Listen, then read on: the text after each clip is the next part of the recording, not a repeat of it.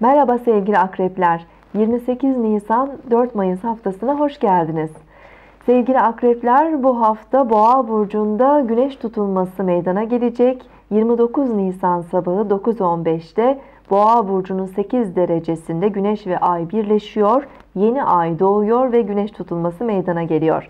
Sizin için de etkili, önemli bir tutulma bu sevgili akrepler. Ee, özellikle doğum gününüz Ekim'in sonu ve Kasım'ın başıysa bu tutulmadan birebir çok daha fazla etki alabilirsiniz. Ve bu yıl sizin için e, önemli başlangıçları temsil edebilir. Tutulma 7. evinizde meydana geliyor ve ilişkilerle ilgili konulara dikkat çekiyor. Her türlü ilişki bu tutulmanın e, kapsamında olacak.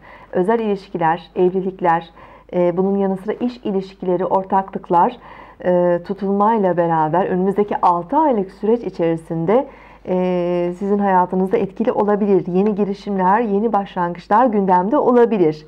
Var olan ilişkilerde de bazı değişimler ve yol ayrımları da söz konusu olabilir sevgili akrepler. Zaten Satürn sizin burcunuzda birçok alanda hayatınızın birçok alanını sorgulamanıza, gözden geçirmenize neden oluyor. Ve bu tutulmanın da enerjisiyle beraber belki daha kararlı bir şekilde hareket edip yeni kararlar alabilirsiniz sevgili akrepler.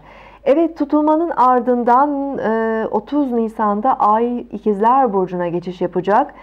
30 Nisan'dan itibaren sizin için para ve ortaklı paylaşımlar biraz daha gündemde olabilir. Haftanın bir diğer önemli gelişmesi 3 Mayıs'ta Venüs'ün burç değiştirip Koç burcuna geçmesi olacak. Venüs Koç burcuna geçiş yapınca sizin günlük hayatınız, rutinleriniz, iş ve çalışma koşullarınızda biraz daha rahatlatıcı etkiler gündemde olabilir. E, giyim tarzınızda bazı değişimler yapabilirsiniz. Kendiniz için alışveriş yapabilir, gardırobunuzu yenileyebilirsiniz.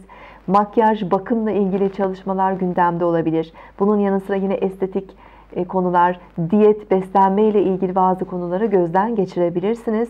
E, günlük hayatınızda yanınızda çalışan kişiler, size yardımcı olan kişiler, özellikle bayanlarla olan iletişimler biraz daha artabilir. E, bazı yeni elemanlar gelebilir yanınıza. Bu alanda bir hareketlilik söz konusu olabilir sevgili akrepler. Evet 3 Mayıs'tan itibaren Ay Yengeç Burcu'na geçiş yapınca sizin için de enerjiler biraz daha destekleyici olacak ayın pozisyonu e, sosyal hayatınız, iletişimleriniz artabilir. Bazı e, gezi, seyahat programları yapabilirsiniz hafta e, sonuna doğru. Yakın çevre, arkadaşlar, e, akrabalar, onlarla iletişim artabilir. E, medya, yayıncılıkla ilgili konular veya eğitimle ilgili konularda yine gündemde olabilir hafta sonunda.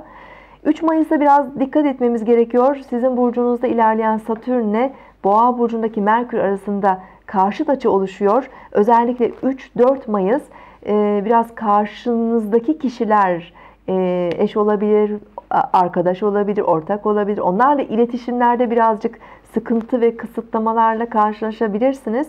E, çok sabit düşüncelerden uzaklaşmak gerekiyor. İnatlaşma gibi durumlar birazcık ilişkileri zora sokabilir. O nedenle sağduyulu ve anlayışlı olmamız gerekecek sevgili akrepler.